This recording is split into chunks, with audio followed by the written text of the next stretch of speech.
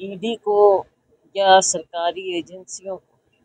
जिस प्रकार से ये सरकार उनका इस्तेमाल अपने विरोधियों के, विरोधियों की आवाज़ को बंद करने के लिए कर रही है, ऐसा इतिहास में आपने कहीं नहीं देखा होगा। दुनिया में जो तानाशाह सरकारें हैं रेजिम है, वहाँ पर सुनने को मिलता है।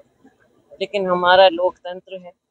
लोकतंत्र में इस तरह की बातों की जगह नहीं होती।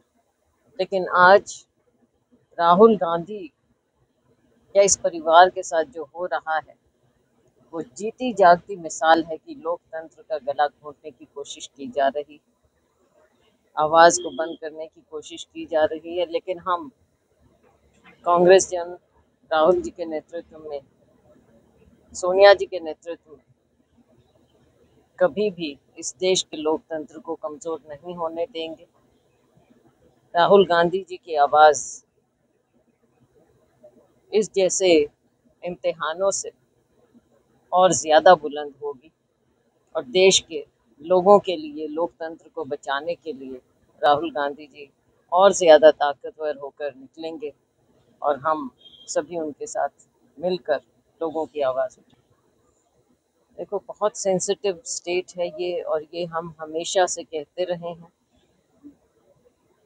सिर्फ़ पुरानी सरकार को दोषी ठहराना अपने आप में कोई हल नहीं है। ऐसी स्टेट में, ऐसे लोगों के साथ संवेदनशीलता से कार्य करना चाहिए। जहाँ शक्ति है, वहाँ शक्ति हो।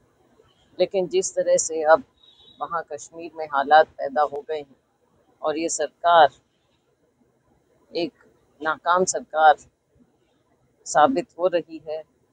आपने कानून बदले वहाँ के राज्य के। उसका आपने विभाजन भी किया।